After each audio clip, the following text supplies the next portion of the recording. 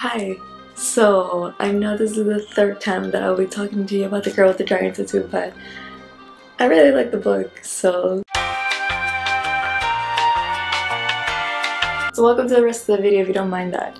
And what I want the video to be about is Salander in the book versus Salander in the US movie.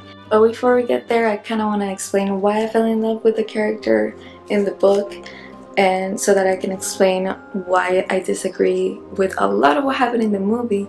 And the reason that I felt like I had to make this video is because I've turned out to be an unreliable narrator and I've accepted it, but I need to right my last wrong. My last video, I kind of made it seem like the movie was perfect, and I don't think it's perfect at all. I have a lot of issues, but I'm just gonna talk about one today. So, here we go. There are obviously gonna be a lot of spoilers in this video, and if you don't mind that, then I don't get you, but you're welcome to stay.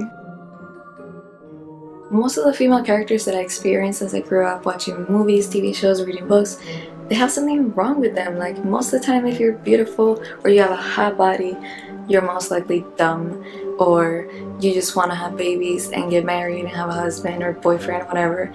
Or if you're smart, you're most likely ugly or like weird or like if you're like more out there then you're deemed as crazy or like something's wrong with you psychologically. So obviously you don't want to be any of those things growing up and you can't see yourself in something else because they're like terrible. And the first time I read this book it was like the first time I saw a really flawed character but her flaws made her powerful.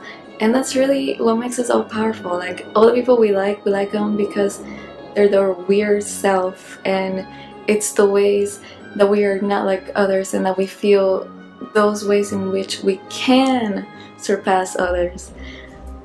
We wouldn't have those without all the stuff we lack. Like they're kind of built against each other, I kind of feel like.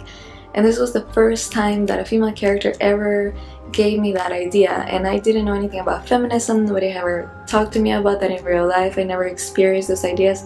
I only had men to look up to and only men could be badass and be flawed and still like you you like them and it was cool to like them.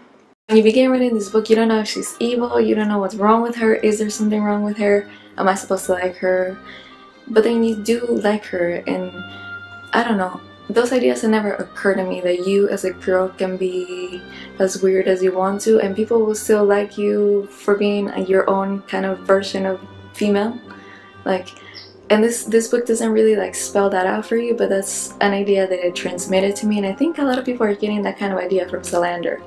And the reason it did not translate to the movie, first of all, we don't have a narrator, so we're not hearing a lot of the inner, like, the reasons why Salander behaves the, the way that she does. We don't hear her reasoning anytime in the movie, like, not the way that we do in the book, right? But that um, is that just the medium? Do we need a narrator? I don't know. And like i said in my last video like aesthetically Rooney Mara is so perfect as Lisbeth Salander. I love her.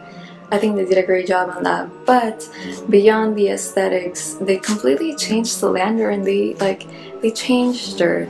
Um, for example they made her submissive in all of the sexual scenes. And in the book it's like a big deal. They make a big deal as to why she's dominant in sexual encounters and it's like on in the overall storyline that doesn't really matter.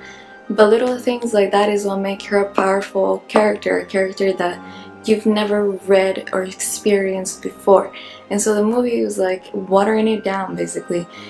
The last scene when Salander gives that jacket to Mikael like I don't think that even happens in the book.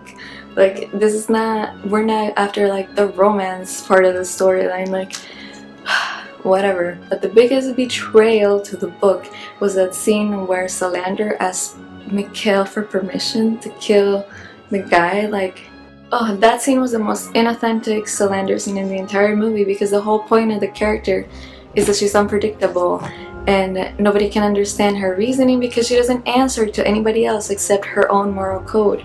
And so when she turns around to Mikael and asks if she can kill this guy, I mean, you just you just murdered, betrayed the, the soul of the character that was Lisbeth. Salander. And the most disappointing thing about the movie is that the guy that directed this is the guy that directed Fight Club. And for me, Fight Club was like the first movie that really took me to weird places, like taboo ideas and experiences. And and yeah, they make you uncomfortable, but you experience it through the eye of the of the film. And it was just so sad that this guy that can take you to totally weird places.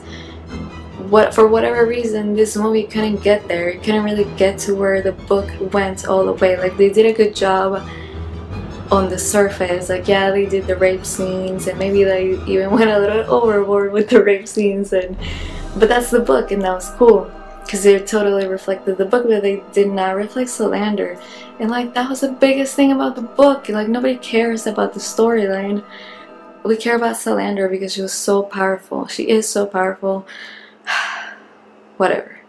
Anyway, thank you for watching if you still are, and I promise next week's video will not be about the girl with the dragon tattoo. You probably know by now.